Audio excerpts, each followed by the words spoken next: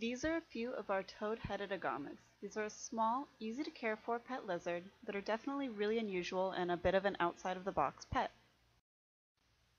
Toad-headed agamas do best in a dry environment. These are a desert dwelling species uh, and there's actually 44 different kinds of toad-headed agamas.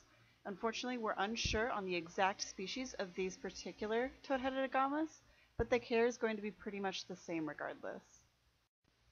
We recommend feeding toad-headed agamas uh, insects such as small crickets, mealworms, and dubia roaches.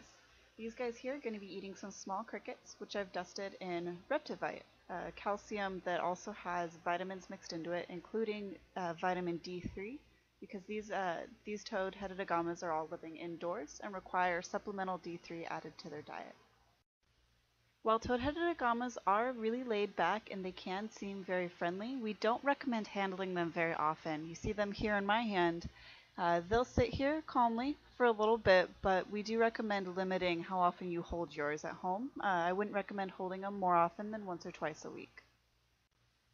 Sexing toad-headed agamas can be very difficult. Uh, here you're looking at the base of a female, which is going to be completely flat when you kind of look at it here. Uh, and then what we have next is a male, which has what looks like a little indent uh, at the base of the tail. It's a very subtle difference and it's very hard to tell. So because of this, we actually don't offer sexed pairs. Hopefully though, this helps you to try and determine the sex of the agamas you have at home. If you'd like to order a toad-headed agama, you can do so through our website, which is going to be www.lllreptile.com.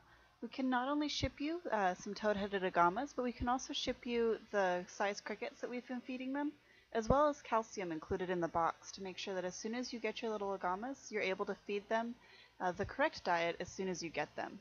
Uh, and again, to order everything, make sure you head on over to our website, which is going to be www.lllreptile.com dot com.